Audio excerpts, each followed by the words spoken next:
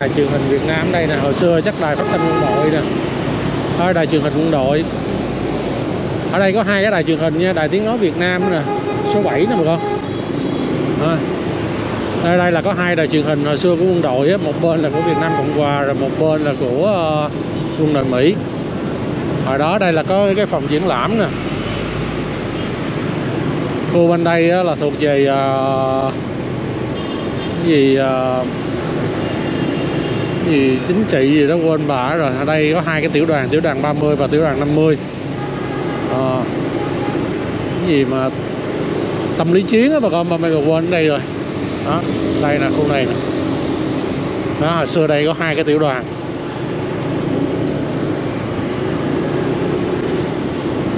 Hình như là gọi gì à? cục tâm lý chiến đó ta. Ba mươi quên này rồi đây là cổng sau của sở thú nè. Rồi trước mặt bà con bác đó là cầu Thị Nghè. Rồi, hôm nay đang có dịp mà đi hết đường à, Nguyễn Thị Minh Khai từ đầu đường đến cuối đường luôn. Đây là hồ bơi Yết Kiêu. Hồ bơi này đó bà mẹ cũng cũng bơi rồi. Nó không có thời gian á. Dân Sài Gòn khoái đi bơi lắm bà con nhất là mùa nóng như thế này nè.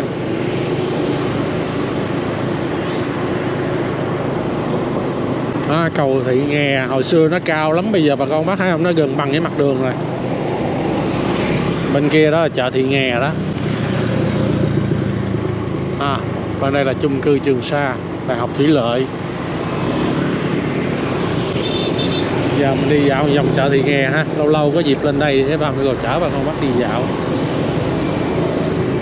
Rồi qua tới đây là hết đường Hồng Thập Tự rồi, qua đây là đường Xô Viết Nghệ Tĩnh nè. Xô Viết Nghệ Tĩnh này thì hồi đó nó còn có tên là trước năm 75 là đường Hùng Vương nha bà con. Và bên đây là mình thuộc về tỉnh Gia Định rồi. Hết đô thành Sài Gòn rồi đó.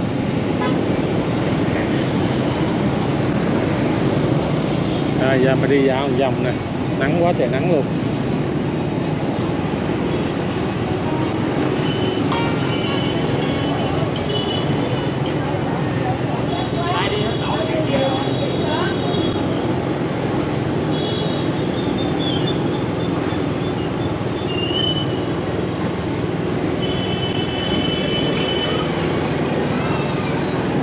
hoa quả lý Tuét. Cái tên công ty cũng ngộ quá ha. Lý Tuét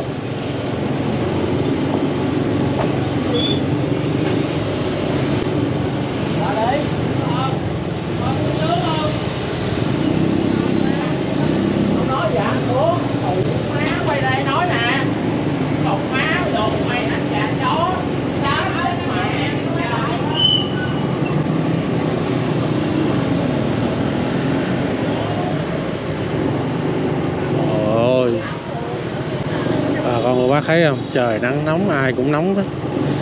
Một phần già một phần trẻ chửi nhau. Và ba mẹ cô đã từng nói bà con cô bác rồi. Nóng nảy thì chả giải quyết được cái chuyện gì hết. Bây giờ thì mặt đỏ như gất ha hùng hổ. Đến lúc mà lên trà, lên kia uống trà rồi là mặt xanh như tàu lá chuối. Mà vậy được gì đâu bà con cô bác cái hàng áo vàng thì nó cũng còn trẻ, thằng cha nhội này, cho nên nó gọi là bố già láo tét. Nó chửi. Xin thưa bà con bác, những cái ờ, vụ án, những cái gì nó cũng xảy ra từ những cái việc nó nhỏ nhặt vậy bà con. Mà Michael thấy đó là bà con bác thấy trực tiếp chứng kiến, có cái gì đâu ta? Mình đi thì mình cứ từ từ đi, vậy mà cũng chửi nhau, rồi lời qua tiếng lại. Bà con bác thấy không? Chết đây có mấy hôm á có một cái vụ mà coi như là một cô gái chạy trên nắp capo đó.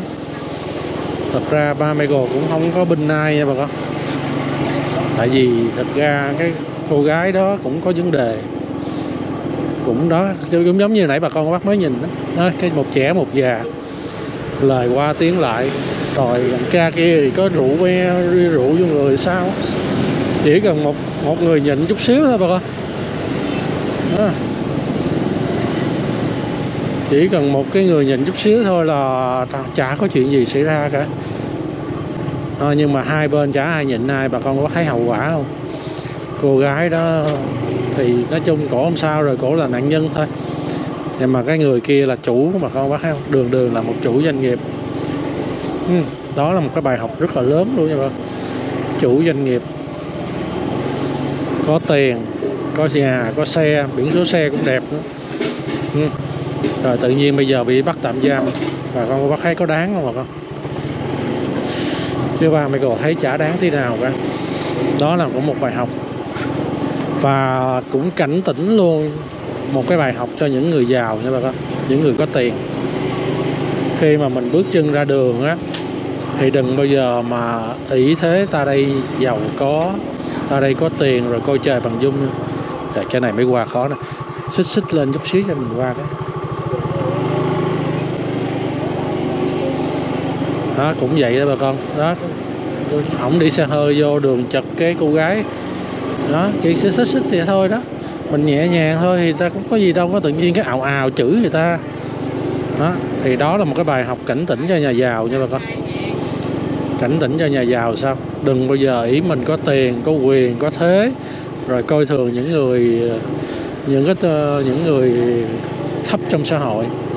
Cái giá nó nó phải trả đắt lắm nha bà con thời buổi này bây giờ công nghệ rồi mạng khắp nơi nơi ai cũng có cái cell phone.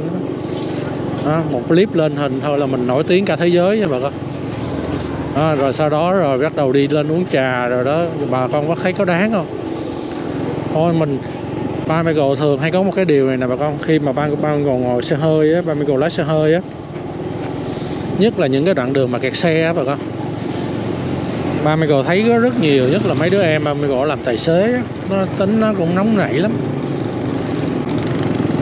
Nó đi ngồi trên đường mà xe hơi kẹt chút và ngồi trong xe giống như là cái ghế của nó nó giống như bị lửa đốt hay sao mà con, nó ngồi nó chồm tới chồm lui. Nó nóng nảy lắm, nó chở gia đình mà nó đi mà. Rồi bắt đầu nó chửi nữa. Mẹ nó đi tùm lum ba mẹ gọi mới nói nó, làm tài xế, chạy xe mình phải có cái đầu lạnh chút xíu đừng có gì những cái chuyện đó mà mình bực tức. Mình bực tức cũng đâu giải quyết được gì. Cái xe hơi bự chà bá xe gắn máy ba Michael ba Michael còn len được chứ đúng không bà con? Công trường tự do ha. Hồi xưa ở đây là có cái uh... rồi ba Michael quên rồi bà con bác nào có nhớ nhắc giúp ba Michael cái chung cư nè. Đó, ba Michael đang kể chuyện á ba Michael quên. Giờ ba Michael chạy đây vô chạy Nguyễn Văn Nho của thủy quân lục chiến năm xưa. Thì để ba Michael nói hết thì cũng mong hy vọng là có bạn nào mà làm tài xế hay là có những đường cuộc sống ai cũng khổ ai cũng khó khăn hết. Nhất là các bạn mà có điều kiện nữa thì các bạn phải cảm thông được cái cái điều đó với lại người dân những người thấp hơn mình chút xíu. Thứ nhất là trình độ dân trí của các bạn là hơn người ta rồi các bạn mới làm chủ doanh nghiệp được. Rồi bà con rồi các bạn cũng phải may mắn hơn người ta rồi các bạn mới có tiền mua xe hơi nhà lầu. Đó là cái sự may mắn của mình. Đó, rồi nên ba Michael hay nói mấy đứa em của ba Michael đó, mình cứ làm tài xế mình giữ cái đầu mình lạnh chút xíu. À, đừng có nóng nảy nóng nảy không giải quyết được gì cả mà ngồi chồm lên chồm xuống chi rồi nó cái từ trong cái tâm mình nó đã loạn rồi nó nó đâm ra nó làm cho mình những cái hành động những cái uh, cái cái cái hành động nó từ cái tâm nó không yên nó đâm ra những cái tay chân mình nó làm rồi từ lời nói từ hành động rồi cái cái mặt nó, nó sẽ gây cho mình rất nhiều phiền phức cho mình. À, và khi mà có chuyện có chuyện gì đó cái là giống như là một cái cái ngồi nổ mà con đùng lên cái. Và cái hậu quả nó khôn lường lắm bà con. Cho nên làm gì làm. Ba mẹ cô hay dặn nó đó. Người ta đi xe gắn máy. Đó bà con thấy không? Nắng nồi. Người ta khổ hơn mình ngồi xe hơi không bà con? Xe hơi giờ có kẹt nữa mình ngồi gì? Mình ngồi máy lạnh. Có bụi bặm gì đâu còn xe hơi như gắn máy như ba mấy cô nè thưa bà con có bác đi nắng thấy mẹ. Hồi xưa ở đây là vườn cây của thảo cầm viên rồi bà con. Đó, nắng nôi thấy mẹ luôn. Đó rồi hít bụi nó chứ gạt xe là hít bụi thấy muốn chết luôn á. Mình phải tạm cảm thông cho người ta chứ mình ngồi xe hơi nó có kẹt chút xíu nữa giờ nó có kẹt cỡ nào nữa cũng một tiếng hai tiếng. Vậy bà nó coi như mình ngồi mình hưởng thụ bật nhạc lên đi. Vừa ngồi nghe nhạc vừa ngồi máy lạnh khói mẹ gì đâu giận dữ chi cho mệt vậy? Rồi. Đó ba mấy thường hay nói tụi nó chạy xe. Đó, làm tài xế mấy cái xe ôm công nghệ chạy mấy xe này nè. Là mà mình phải giữ cái đầu mình nó lạnh chút xíu. Chạy mẹ đi đừng có bận tâm cho mấy đó. Đừng có vì một chút mà nóng nảy bốc đồng lên rồi hậu quả nó ghê gớm. Mà ba Michael thấy rất là nhiều báo chí đăng cũng nhiều luôn mà không cho nên cái đó cũng là cái lời cảnh tỉnh cho những ai mà có tiền. À, mình đã có tiền là mình đã may mắn hơn những người không có tiền rồi. Thì mình nên kệ đi. Mình nhường họ cái ra đường mình nhường họ cái có chết đâu. Họ họ họ hùng hổ khổ báo mình thì kệ mẹ đi im lặng rồi. Ba Michael thường hay có một cái cái bản tính của ba Michael hồi xưa cũng nóng lắm mà con. Nhưng mà bây giờ ba Michael cũng đang tập tập dần dần rồi. ra đường hả? bây giờ ai chửi ba Michael ba Michael cũng cười và tiếp theo là gì? Xin lỗi. Lỗi của mình thì mình xin lỗi là không có gì để đáng nói nha bà con. À, mình đi sai mình xin lỗi là chuyện bình thường. À, nhưng mà thậm chí đối với ba Michael mà ra đường mà có va quẹt gì đó mà không phải lỗi của mình đó ba Michael cũng xin lỗi luôn. Trời nó chả chết chóc tay nào một lời xin lỗi có mẹ gì đâu. Đúng không bà con? Chả có cái gì cả. Đó hai cái hai cái câu từ mà ba mẹ còn nghĩ là các bạn trẻ hoặc là những người mình cũng nên tập. Và ba Michael cũng dạy hai đứa con của ba Michael đó là hai cái câu cửa miệng luôn. Thứ nhất là cảm ơn, thứ hai là xin lỗi. Chả chết chóc tay nào hết. Một vài ba lời đó. Lời nói thôi mà, lời nói có mất tiền đâu. Ờ, mà mình phải làm sao để cho nó vừa lòng người nghe. Ba Michael nói thật chứ càng lớn, ba Michael lại càng sợ va chạm lắm mà con chứ hồi nhỏ ba Michael hùng hùng hổ hổ báo đó. ra đường không sợ nào con nào hết đó và cái danh dự cái sĩ diện của mình không thể nào thua nó được. Phải trên cơ nó kìa. Ba mươi cầu chơi cái gì cũng phải trên cơ người ta dưới cơ không có chịu. À, nhưng mà càng lớn càng lớn bắt đầu mình nhận ra à, những cái điều đó là những cái hành động ngu xuẩn nha bà con. Ngu xuẩn lắm. Mình hơn hay thua tự bản thân mình biết đâu cần phải thể hiện ra bên ngoài chi. Mình giàu mình nghèo thể hiện ra làm chi? À, chứ bình thường. À cài mẹ nó nó muốn hơn mình cho nó hơn. Bản thân mình biết được là mình có hơn hay không là được rồi. Đây là giáo phận Thái Bình. Con đường Ngô Tích Tố rồi bà. Rồi ba mẹ quên mẹ cái con đường này luôn rồi. Con đường này hồi xưa tên gì ba mẹ quên rồi nè bà con. Bên tay phải này là nghĩa trang nghĩa trang giáo sứ thị nghè ở đây nè hồi xưa nè bên tay phải này nè. Đó một dọc đây luôn nè bà con. Hồi đó cái hàng rào nghĩa trang đây nè bây giờ là nhà cửa quá trời rồi. Rồi con đường ngô tích tố này tự nhiên ba Michael quên tên rồi bà con. Các cô chú anh chị và các bạn có biết nhắc giúp ba Michael chứ? Quên rồi. Hồi đó đây là bên đây là hãng gốm sứ thiên thanh nè. À, cái nguyên cái tòa nhà chung cư này hồi xưa là một cái hãng gốm sứ thiên thanh đây sau này giờ ra lấy thiêu rồi. À, giờ City Garden. Thì thôi sẵn tiện có gì đó ba Michael chia sẻ những cái góc nhìn của ba Michael những cái kinh nghiệm sống à, những cái gì mà ba Michael rút ra được tới thời điểm bây giờ. Sống ở đời ra đời đừng có hơn thua ai hết. Tự mình bản biết bản thân mình là được. Trong đạo Phật thì cũng có cái câu đã nói tự chiến thắng mình là mới là cái cái cái, cái tối thượng nha bà con mình đừng có chiến thắng ai cả. Mình hãy tự chiến thắng cái bản thân của mình trước đi. Đó, cái đó mới là cái cao nhất cái đỉnh giới cao nhất luôn. Con người của mình đó, hầu như ai cũng bị dướng cái là thích thể hiện ta đây thích hơn người ta. Nhưng mà chả được giải quyết được cái gì đâu bà con. Đó là cái cái kinh nghiệm của ba Michael đã từng trải qua. Hồi xưa mà ba Michael thua ai ba Michael khó chịu lắm. Ba Michael phải hơn. Cái gì ba Michael cũng phải hơn á ra giang hồ là ba Michael phải làm đại ca, làm chùm thiên hạ. Dựa vào cái thế mà mình hồi nhỏ mình được học võ nữa. Rồi ơi, lớp lớp lớp lớp, rồi đục đầu nó hết á. Rồi bắt đầu cái nâng cao cái cái bản ngã mình lên. Ghê lắm. Giáo sứ hiển linh, chùa văn thánh.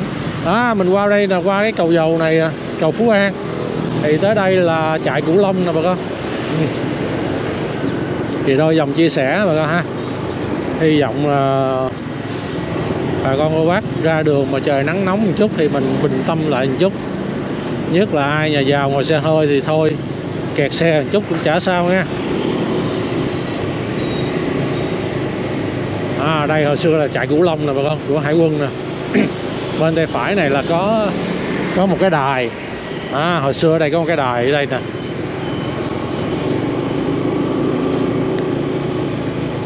Khu trung tâm của trại Cửu Long mà xưa nằm trong đó đó bà con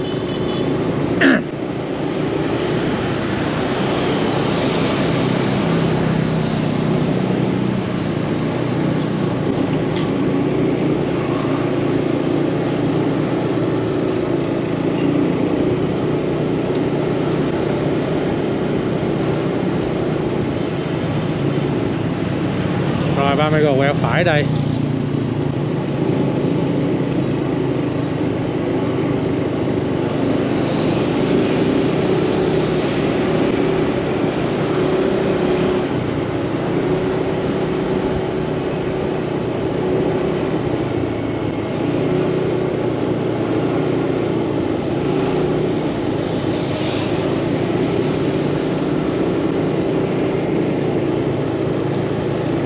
nắng ghê vậy ta. Đường này đường Nguyễn Hữu Cảnh đó bà con. Hồi xưa nó không có đường nha bà con. Cầu vượt Văn Thánh.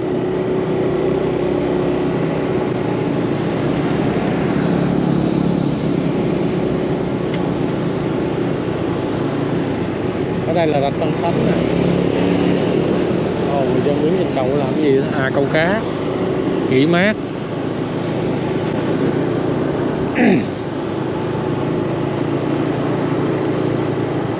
bên tay trái này, hồi xưa có hồ tắm nè bà con.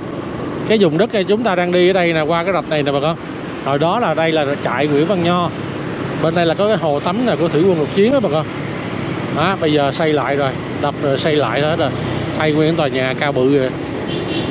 Hồi đó ờ, cái hồ tắm đó ba còn nhớ ừ, gọi là hồ tắm hải quân. Là trước năm 75 là hồ tắm của cho thủy quân lục chiến á, trại Nguyễn Văn Nho. Đường Phạm Viết Chánh nè toàn bộ khu này xưa là trại Nguyễn Văn Nho nha bà con.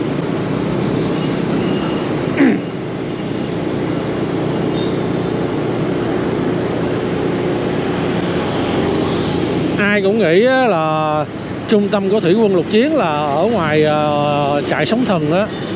Nhưng mà thực ra không phải nha bà con. Tất cả mọi hoạt động thì ở ngay chỗ trại sống thần.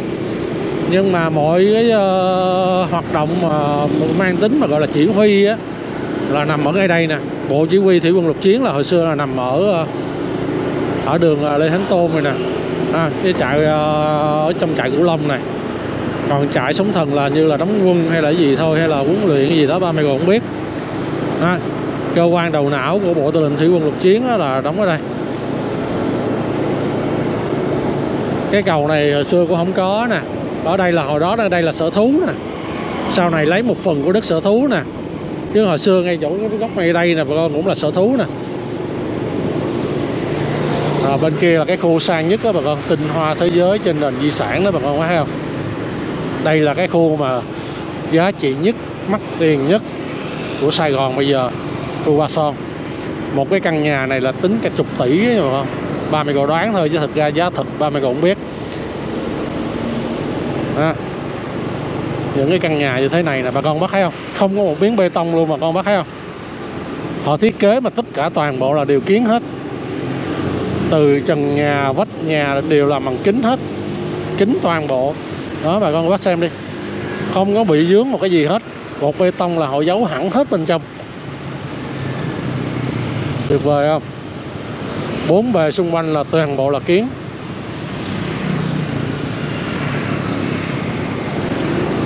Đẳng cấp lắm nha bà con. Phủ kính toàn bộ.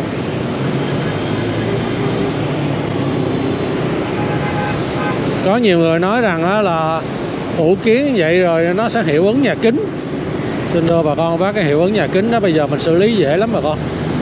Họ đã xây được cái căn nhà như thế này rồi. Thứ nhất bây giờ nó có những cái phim cánh diệt á. Ừ, ba em của mỹ á nó ngăn chặn cái tia tử ngoại cực kỳ tốt nha bà con mà nó không gây cản trở tầm nhìn. Đó là một.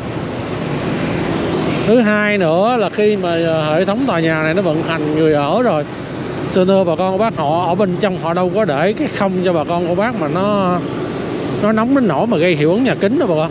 À, máy lạnh là nó chạy suốt nguyên tòa nhà lạnh ngắt luôn á rồi dán thêm phim cách nhiệt nữa thì cái chuyện nó xử lý rất là đơn giản. Nó giống như cái tòa nhà trước mặt bà con quát á. Đó. đó nguyên cái văn phòng hoạt động là toàn bộ hệ thống tòa nhà đều là lạnh ngắt luôn nó vô là lạnh chết luôn á chứ đừng có nói. Thì làm sao mà hiệu ứng nhà kính được? Nhưng mà có cái điều là khí thải nó sẽ thải ra nhiều lắm á. Mấy cái dòng máy lạnh nó thải khí thải dữ lắm nha bà con.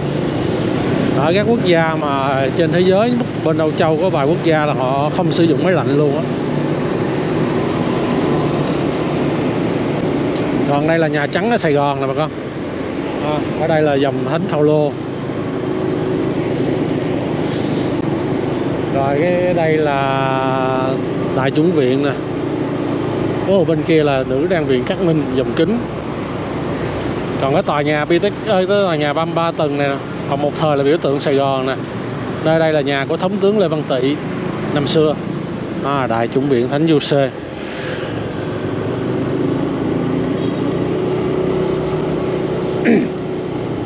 Nay là trường cao đẳng kinh tế tài chính kinh tế 4 nè. Bây giờ là trung tâm mục vụ. Ở đó là cái trường học đó rồi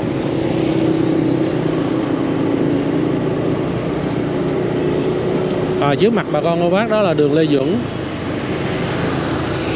Nguyên cái tòa nhà đó đó hồi xưa ở đây có cái cổng thành. Thành này người ta gọi là thành Ô Ma.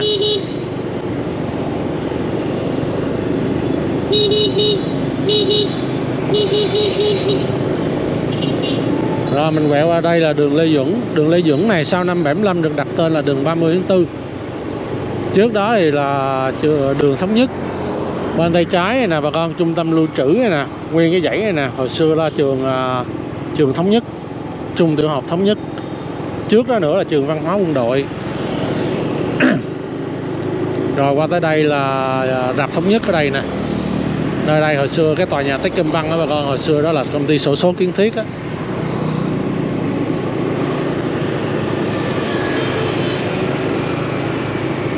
Rồi kế bên nữa trước năm 75 là đại sứ quán Anh. Bây giờ là tổng lãnh sự quán Anh.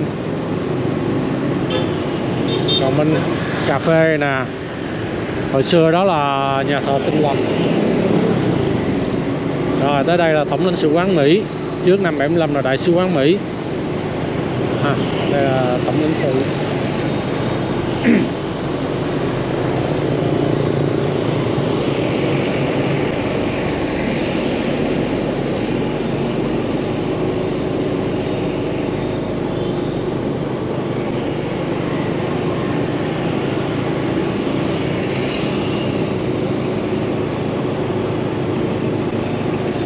Đây lên sự quán Pháp.